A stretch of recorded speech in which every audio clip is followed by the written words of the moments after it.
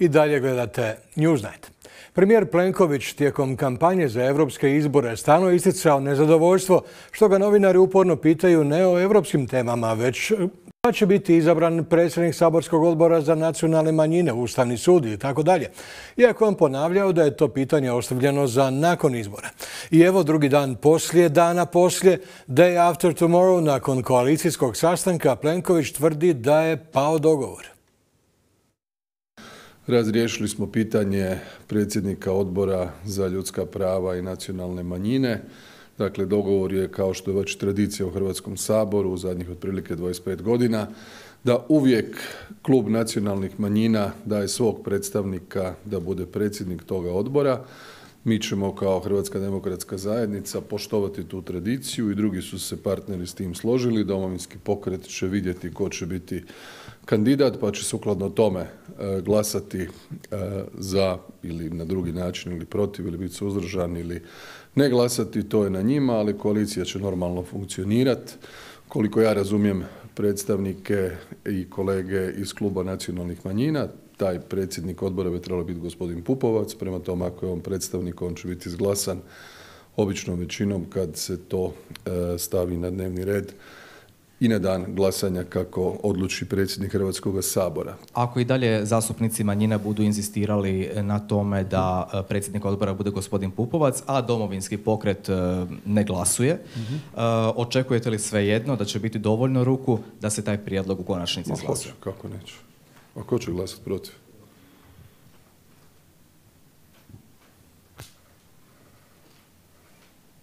Hoće, jesam, razumjeli smo se, dakle, izglasat će se sigurno, ne vidim nikakav problem tu. E, nastavno samo kratko na ovo, dakle, pretpostavljate da će vis-a-vis tradicije i svega i zapravo i oporba biti za taj prijedlog? Pretpostavljam. Nismo se ništa s njima dogovarali, ali ne vidim ništa sporno. Rekao sam već inače da je to pitanje za koje ćemo naći rješenje. Kad su završili izbori, našli smo rješenje odmah. Dakle, u prijevodu, ako klub nacionalnih manjina podrži Pupovca, a hoće, tada će HDZ glasati za, a domovinski pokret vrlo moguće protiv, a jedni drugi u očekivanju da Pupovčev izbor spašava na koncu oporba.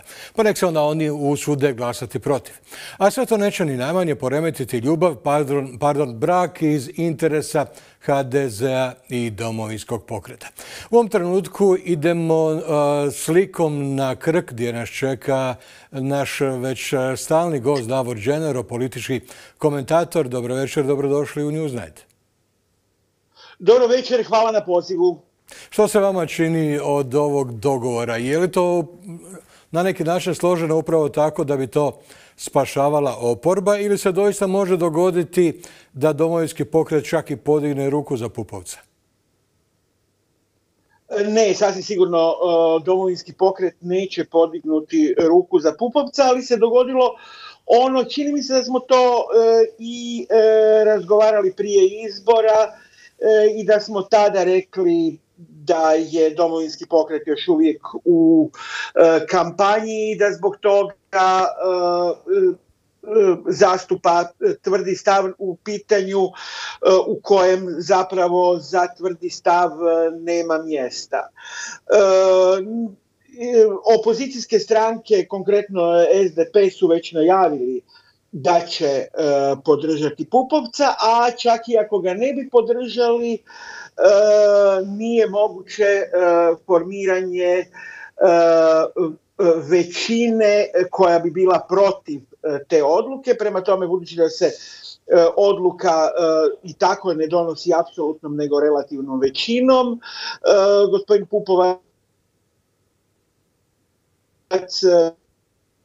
potrebno osigurati apsolutnu većinu zastupnika za tu odluku. No, bila je ipak varijanta jedna u kojoj su iz oporbe poručivali da one ne namjeravaju spašavati vladajuće, da je to e, saborski odbor koji pripada kvoti vladajućih. No, je li možda došlo do dogovora na koaliciji, e, jer su sad, e, danas je Plenković zapravo naglasio da, da oni smatraju da je upravo taj saborski blok manjinskih predstavnika predstavnika taj kojemu pripada taj saborski odbor. Dakle, to nije de facto u kvoti vladajućih, nego u kvoti tog kluba manjinaca, pa da onda zapravo čak i u tom slučaju domovinski pokret se nema razloga buniti, jer to neće biti iz kvote vladajućih.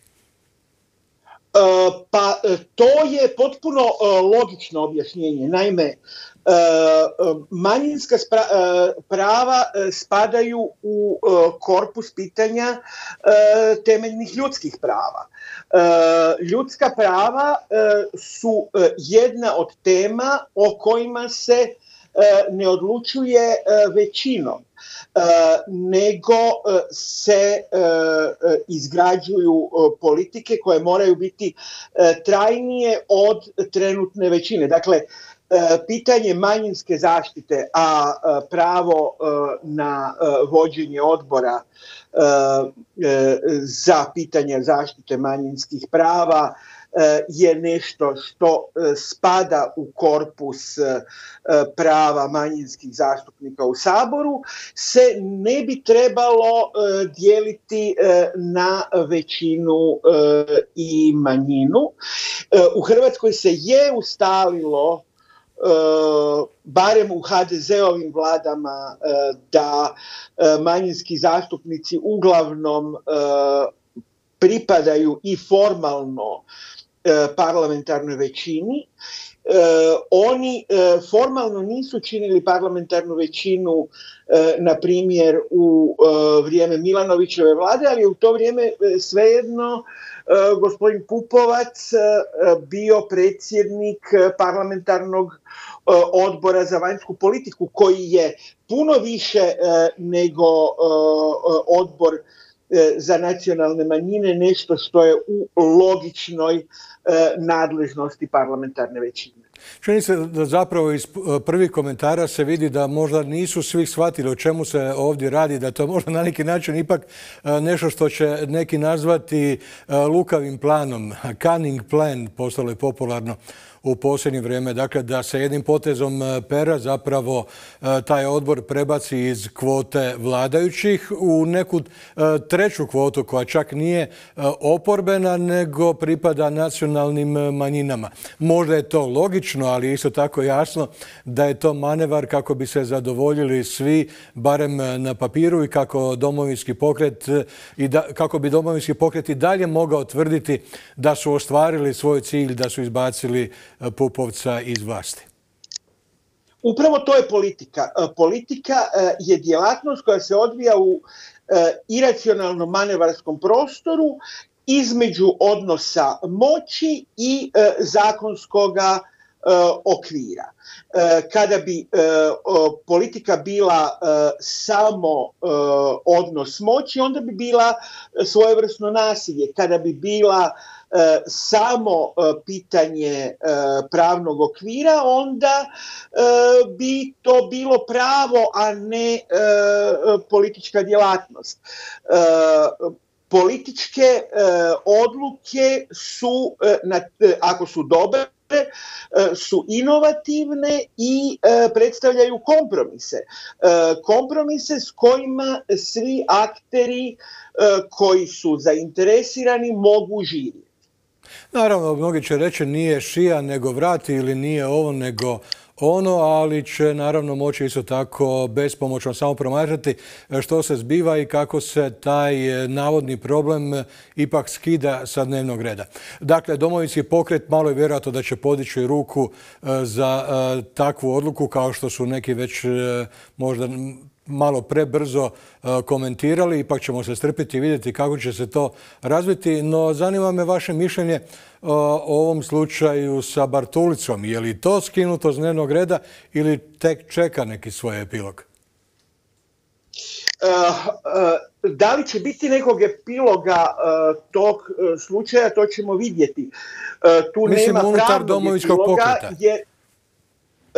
jer je pa ni oni nemaju manevarskog prostora nešto odlučiti. Gospodin Bartulica e, je e, izabran e, voljom birača i stranka ne može nakon provedenih izbora opozvati biračku političku volju. Jedino može eventualno napraviti pritisak na gospodina Bartulicu koji bi se eventualno mogao povući dobrovoljno od mandata, ali meni se čini da to nije nešto što bi bio uvjerljiv scenarij. Kakve će biti konsekvence toga, kakve će biti odluke povjerenstva za odlučivanje o sukobu interesa, kakve će biti političke konsekvence za gospodina Bartulicu i za domovinski pokret, to ćemo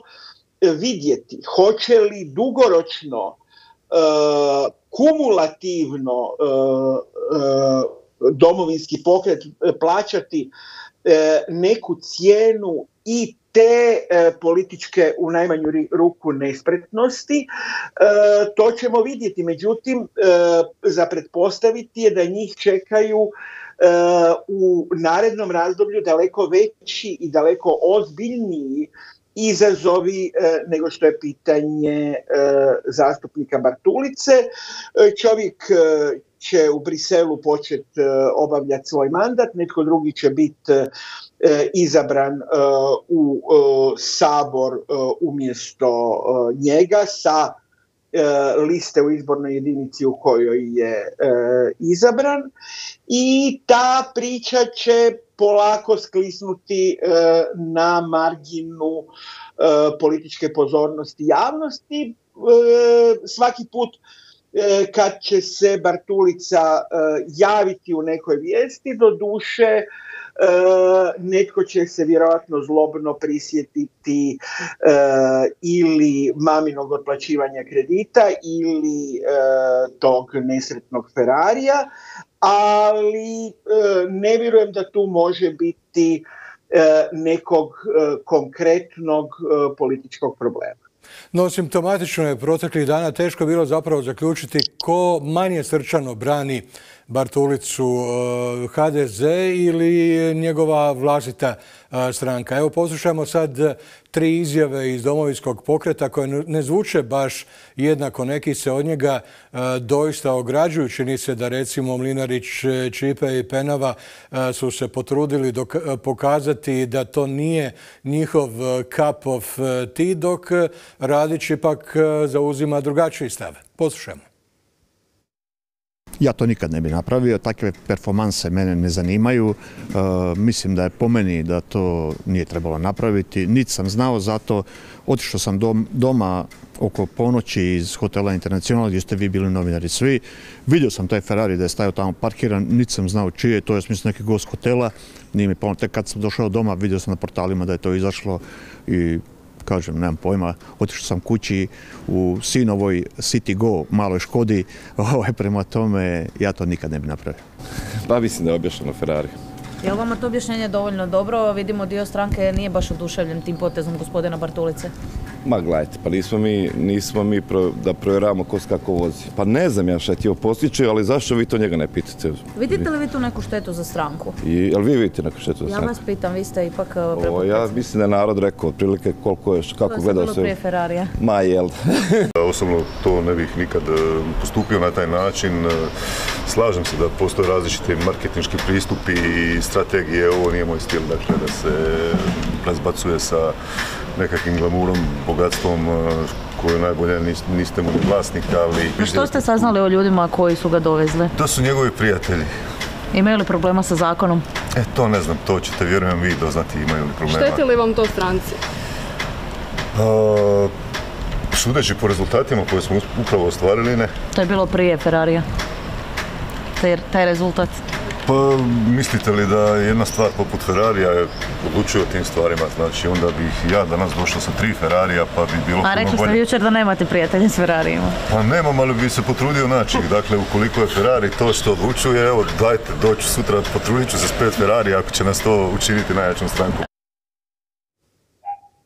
Čuli smo, dakle, Čipe ima problema sa performansama, očito da se e, na neki način pomiješalo sa performansama ovog moćnog automobila, ali jasno je sasvim da e, Bartulica nije kupio automobil, nije podignuo novi kredit i neće njegova majka vraćati e, kredit za Ferrarija, kao što ga neće otplaćivati niti plaćama u Briselu. Ovo je na neki način odgovor onima koji su ga na ulici presretali zbog toga što se on vozi u nekom neprijavljenom automobilu koji je na koncu ipak bio automobil e, renta kara i nisu se ostručavali čak niti postavljati pitanja u blizini e, njegove djece. Vjerojatno situacija u kojoj se Bartulica baš nije ugodno osjećao, ali isto tako vjerojatno ovaj, ovaj Ferrari na koncu nije njegova ideja. Lako je moguće da to ipak došlo iz Bujančeve kuhinje. Ne poznam te ljude, e, ne mogu e, reći od kud je e, ideja došla. Doista mi po onome što znamo gospodinu Bartulici, to ne priliči njegovom ponašanju. Vjerovatno je to neki, neka PR ideja koja je puno više eh, naštetila gospodinu Bartulici eh, nego onima kojima se očito poruka htjela poslati.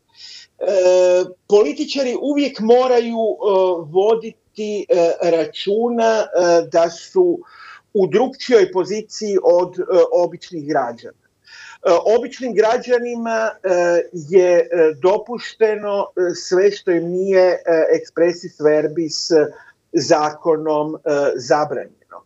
Ali kod političara nije tako. Političarima je dopušteno samo ono što im zakon daje u ovlasti, a njihov privatni život je uvijek e, pod e, drugčijom lupom nego život ljudi koji ne obavljaju javne dužnosti. I kad prihvatite javnu dužnost, vi morate biti svjesni da se odričete dijela privacije.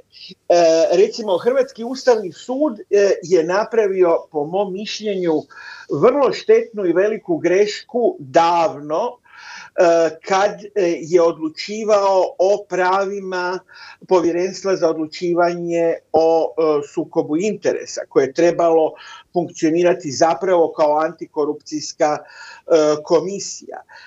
Tada je Ustavni sud stao na stanovište da ta komisija da to povjerenstvo nema pravo e, provjeravati sve e, financijske transakcije e, javnih dužnosnika, što mu je bilo inicijalno u ovlastima i da nema pravo sravnjivati njihove odnos između njihovih prihoda i imovine to e, se pravdalo privatnošću, e, e, pravom na privatnost javnih dužnosnika.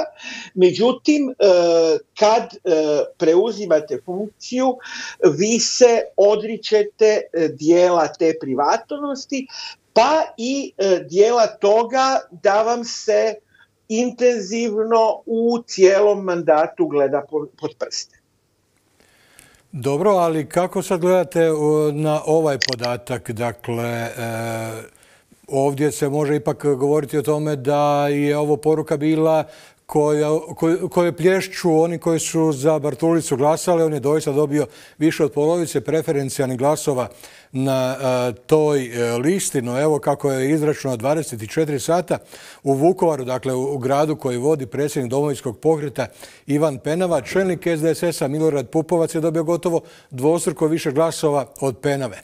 Ali čak i e, mogli bismo pomisliti možda je Bartulica ubrao veći broj glasova, ali nije, jer Penava i, Bartulica u Vukovaru su dobili zajedno 580 glasova, dok je Pupovac osvojio 569 glasova. Dakle, jedno nešto malo manje od njih dvojice zajedno.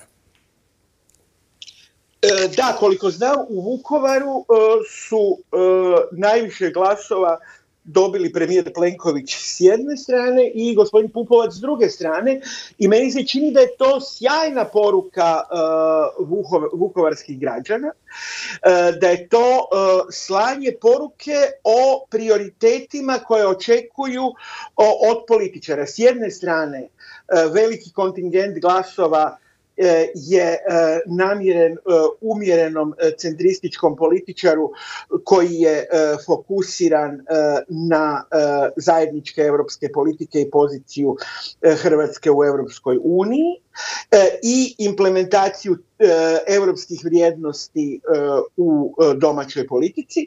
S druge strane, veliki kontingent glasova je namijenjen političaru koji zagovara konstitucionalni patriotizam srpske nacionalne zajednice.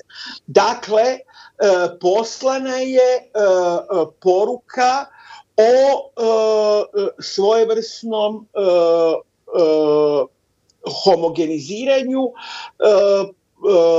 hrvatskog političkog naroda, rekao bi Starčević, ili e, ukupnog e, političkog tijela, e, o jačanju centra i prevladavanju razlika između suprotstavljenih političkih pozicija. Poruka o umjerenosti i poruka o europskom usmjerenju. Meni su to krasne poruke. I za kraj da se osvrnemo na budućnost e, SDP-a kojem slijede unutar stranački izbori, ali ne samo i kod njih, e, sad je vjerojatno i čitav niz unutar stranačkih izbora. E, prije vašeg komentara da poslušamo Sinišu Hajdaša Dončića koji očito želi biti budući predsjednik SDP-a. Zbog velikog broja preferencijalnih glasova i zbog liste koju sam nosio koja je u Hrvatskoj imala najbolji izborni rezultat, odlučio sam se da će se kandidirati za predsjednika SDP-a, dakle nakon rokova koji su propisani statutom. Isto tako, e, ono što je najvažnije naglasiti, želim da SDP bude prvi, a ne drugi. Hvala. Ja nisam, ja nisam, ja nisam s nikim razgovarao do sada, dakle odluka je prvenstveno moja i da naglasim i moje obitelji. Pa razgovarat ću sa svim ljudima, onaj tko me poznaje, zna da sam uključiv i da ja u principu mogu raditi sa svima. Dakle, nemam problema apsolutno s nikim. Dakle, Grbin je sam sebi dodijelio četvorku, malo je neobično da neko sa četvorkom odlazi sa čelnog mjesta u stranci, no dolaze novi, možda je vrijeme da E, dođu. Nije niko na koncu morao iz Brisela poručivati da stranka ne smije biti talac e, jednog e, čovjeka, no bili Siniša Hajdaš Dončić bio napredak ili nazadak? gledajte, potpuno je logično da gospodin Grbin odlazi. Gospodin Grbin je otišao s pozicije predsjednika SDP-a na e, dan raspisivanja parlamentarnih izbora kad je istovremeno e, gospodin Milanović objavio da je on predsjednički kandidat, premijerski kandidat, oprostite, SDP-a na sljedećim parlamentarnim izborima i da pritom ne napušta poziciju predsjednika Republike. predsjednik druge najveće parlamentarne stranke po definiciji je na parlamentarnim izborima premijerski e, kandidat e, u sustavu parlamentarne vlade. Budući da, da hrvatski politički sustav e, jest sustav parlamentarne vlade, u tom trenutku kad je rekao ne, ja nisam kandidat, nego je to Milanović, Peđa Grbin je deklarirao ne, ja nisam predsjednik stranke. Po svemu sudeći, većina ovih kandidata koja se sada natječe za predsjednika E, SDP-a, uključujući i e, e, gospodina Hajdaša Dončića, se natječe za poziciju skrbnika nad strankom tako dugo dok je stvarni vlasnik stranke tehnički onemogućen da upravlja svojom imovinom. E, jedini koji to nije je i jedini od ljudi koji e, se spominju kao mogući e, kandidati za predsjednika stranke je Tonino Picula koji je jasno rekao da ne bi podržao Milanovića. Hajdašu Dončiću se žuri preuzeti vodstvo nad strankom. E, vidjeli ste da je bio taj e, disput o tome hoće li izbori biti u lipnju ili rujnu zbog predsjedničkih izbora i zauzimanja pozicije u odnosu na njihovog kandidata E, na e, predsjedničkim izborima. E, dakle, radi se o tome da čovjek iz unutarnjeg kruga Zorana Milanovića, čovjek koji je sudjelovao u pripremi Milanovićevog ustavnog udara, želi preuzeti formalno upravljanje Milanovićevom imovinom na Iblerovom trgu kako bi tu e, sljedbu pripremio e, na vrijeme e, za kao vojsku za predsjedničke za predsjedničke izbore. Naravno da je jako zanimljiva pozicija gospodina Picule koja meni silno naliči na nešto što je Picula već jedanput izveo.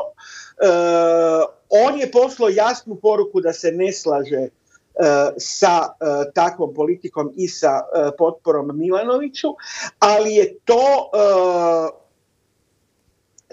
izveo tako eksplicitno i jasno da je grupirao sve ove pripadnike skupine koju nazivaju Milanovićevim bedemom ljubavi protiv sebe E, i e, time osigurao e, za sebe da se neće dogoditi to da bude izabran za predsjednika stranke. Ne ne mislim da je to napravio zbog toga što bi e, bio e, loš predsjednik stranke, dapače, mislim da je e, jedini među ovima koji se spominju koji je doista kredibilan i ozbiljan političar, ali je dovoljno zreo i dovoljno pametan da zna da preuzimanje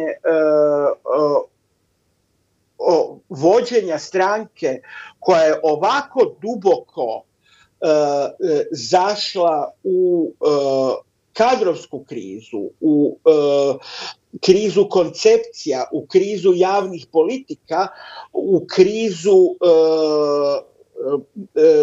partijske mreže širom Hrvatske, da je suicidalna misija, da je misija iz koje teško možete izaći živi. E, jedanput je to e, shvatio pa je e, teret vođenja stranke tada pao na Davora Bernardića i očito je da Picula želi poslati dobru poruku, ali zna da vođenje SDP-a nije nešto čemu bi vrijedilo posvetiti svoju energiju. Dakle, možemo na neki način e, svesti na to da se i dalje nude čuvari stranke u zimskom periodu sve dok je predsjednik na službenom putu, a oni e, par koji bi možda to mogli obavljati e, nisu toliko suicidalni da bi baš obje ručke poletili prema tom cilju. Hvala mi još jednom na vašoj analizi u Newsnightu. Davo Genero javio se sa Krka. Puno hvala, pozdrav sa Krka.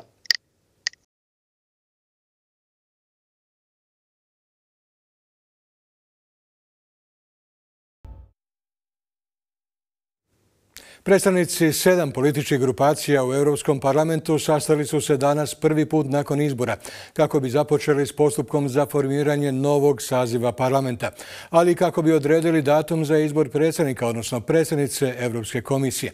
Nisu uspjeli. Iz Brisela se javio Nikola Radišić. Ursula von der Leyen još ne zna kada će o njenoj budućnosti na mestu predsjednice Evropske komisije raspravljati Evropski parlament. Parlamentarna predsjednica Roberta Metzola okupila je predstavnike svih političkih grupacija na prvom post-izbornom sastanku kako bi razgovarali o sastavu Evropskog parlamenta, pripremama za konstituisanje parlamenta, ali i za izbor predsjednika Evropske komisije. Jedan od predloga bio je da se kandidatura Ursula von der Leyen raspravlja na konstitutivnoj sednici njenog trećeg dana, 18.7., ali o tome na kraju nije postignuto saglasje. Guardian je javio da je većinsko raspoloženje takvo da će se o tome razgovarati te kada Ursula von der Leyen ili nekog drugog zvani zvanično predloži Evropsko veće. Lideri vlade i država članica Evropske unije o tome će razgovarati već u ponedeljak na neformalnom sastanku. Glavna tema biće podela funkcija predsjednika Evropske komisije, šefa diplomatije Evropske unije i predsjednika Evropskog veća. Međutim, očekuje se da odluku donesu tek na samitu koji je zakazan za kraj ovog meseca. Ukoliko dobije podršku veće, bit će potreban 361 glas u Evropskom parlamentu da bi bila imenovana. S obzirom na to da su evropski narodnjaci već pozvali svoje dosadašnje partnere, socijaldemokrate i liberale, da nastave saradnju, očekuje se da će nova stara vladajuća koalicija imati dovoljan broj poslanika da kandidatura Ursula von der Leyen prođe glatko i da ona stupi na dužnost kako je planirano 1.11. Nikola Radišić, N1 Brisel. Hrvati su po lošoj izlaznosti ovaj put neslavni rekorderi u Europskoj uniji. I to tijekom europarlamentarnih izbora koji su uzdrmali vlast u najvažnijim članicama Unije. Domogoj Novokmet podsjeća na brojke koje su francuskog predsjednika Macrona natjerale da raspusti francuski parlament i raspiše izvanredne izbore.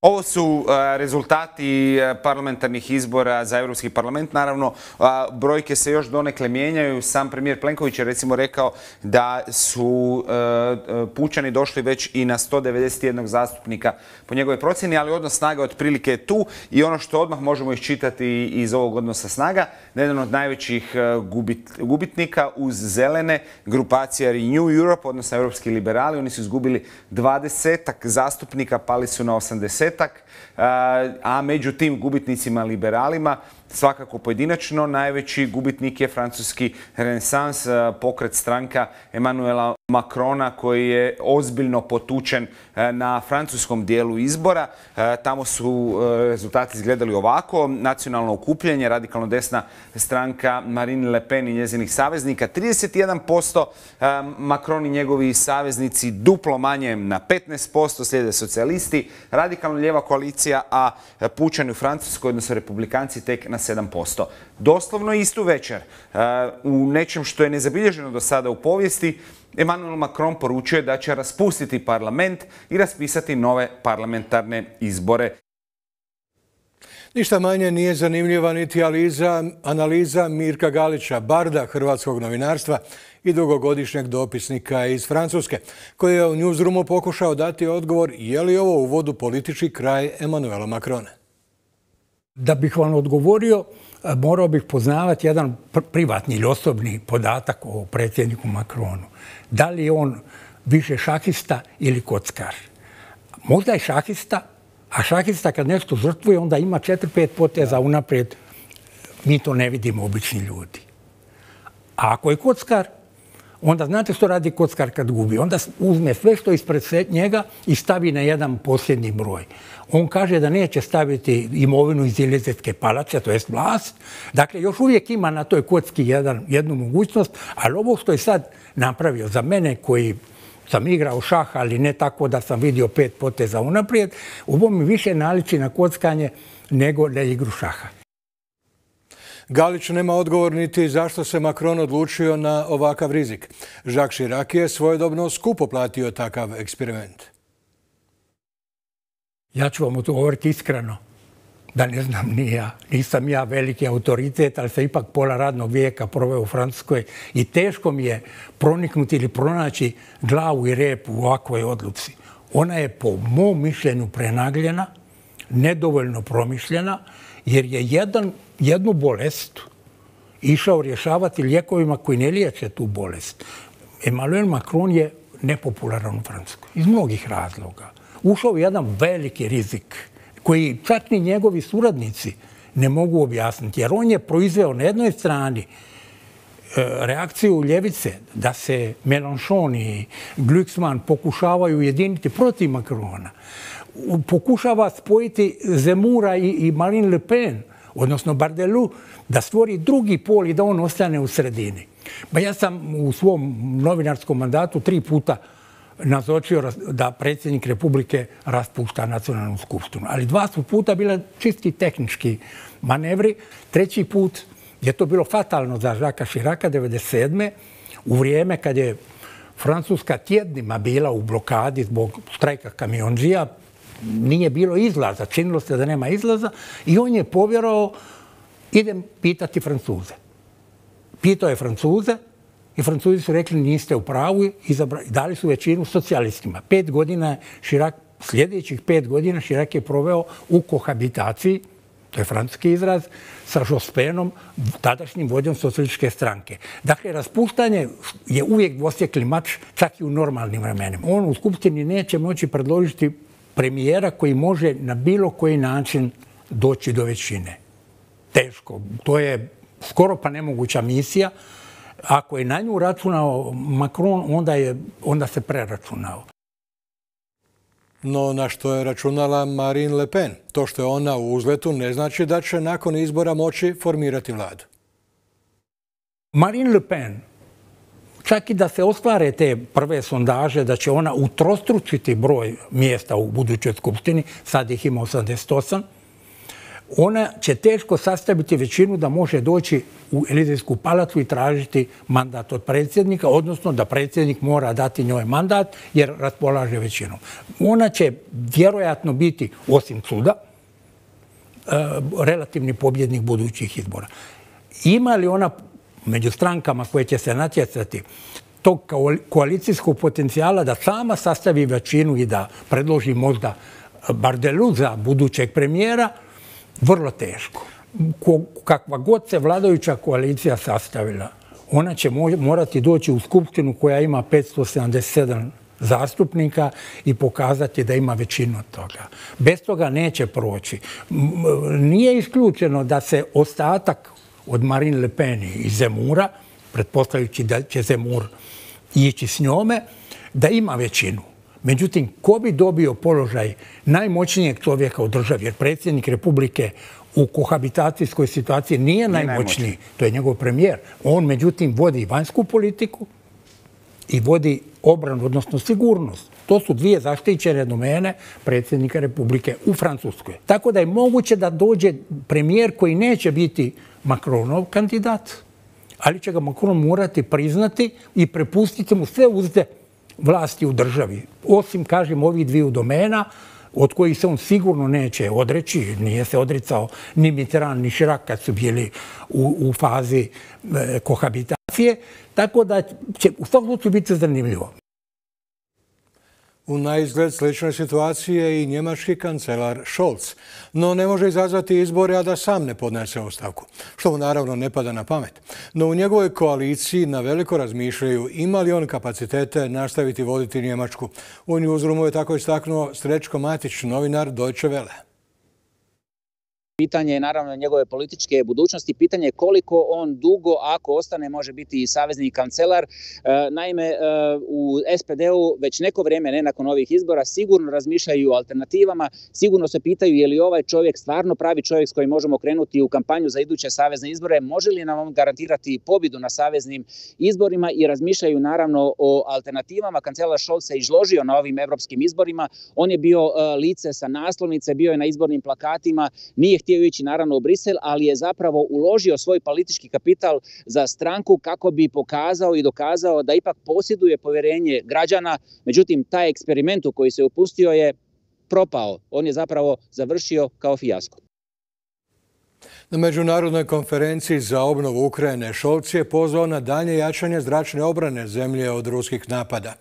Pozvao je saveznike da podrže njemačku inicijativu za jačanje ukrajinske protuzračne obrane svime čime mogu. Ukazao je na mogućnost dalekosežnih i dugoročnih obveza za obnovu u zemlji koja je ozbiljno oštećena u više od dvije godine skupog rata i godinama tinjajućeg sukoba prije toga. Kaže da će se zalagati za takvu vrstu obveza na nadolazećem samitu skupine G7 bogatih demokratskih zemalja koji u četvrtak počinje u Italiji. Konferenciji naravno prisustuje i ukrajinski predsjednik Volodymyr Zelenski. Američki državni tajnik Anthony Blinken u ponedjeljak je održao dvosatni sastanak s izraelskim premijerom Netanjahom. Blinken mu je rekao da će svijet podržati sporazum o prekidu vatre, koji bi podrazumijevao oslobađanje talaca i propuštanje humanitarne pomoći u gazu. Više o svemu donosi Paula Hancocks. New video from the Israeli military shows the rescue of Israeli hostages from central Gaza. It says hundreds of personnel were involved in this rare daytime operation. Three hostages locked in an apartment in one multi story residential building, another held in a flat 650 feet away in a densely populated neighbourhood. Models of the buildings were built weeks before to train forces. This is how Israel's hostage rescue mission looked from the ground. Airstrikes, explosions, residents running to find safety that does not exist in Gaza. Hostages were flown by helicopter back to Israel and to emotional reunions with family who had dreamed of this moment for eight months. Families who only heard about the mission once their loved ones were safe. The doctor who has treated the hostages since they arrived tells me, despite appearing in good condition, all four are malnourished. The muscles are extremely wasted. Uh, there is damage to some other um, systems because of that. He says they were moved frequently and beaten by their captors. It was a harsh, harsh experience with a lot of abuse, uh, almost uh, every day, every hour, uh, both physical, mental, and other types, and that is um, something that is beyond comprehension. Dr. Pesak also treated some of the hostages released in November and says the psychological damage of these four is significantly worse all of them had faith. But losing that faith, I think, is where you get to the breaking point. And I'm happy that these guys are here, but there are others losing their faith in us, in humankind. Residents in Nusrat, central Gaza, are in a state of shock, struggling to deal with the aftermath of Saturday, which neighbouring countries and the EU's top diplomat have called a massacre. This woman says most of those trapped under the rubble are women and children. Houses are filled with displaced people. Israel committed a massacre.